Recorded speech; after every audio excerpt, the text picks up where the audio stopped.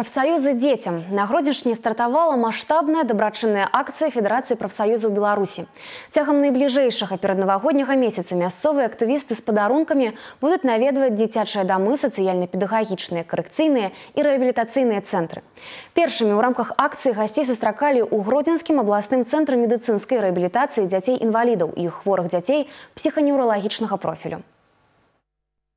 Это центр, наверное, первый, который был в 90-е годы созданный в республике по инициативе именно Гродненской области. Сегодня по этому опыту идут уже и другие области.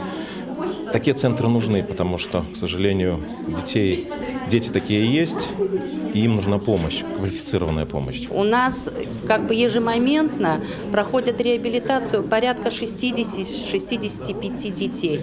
За год э, реабилитацию получают э, около тысячи детей в стенах нашего учреждения.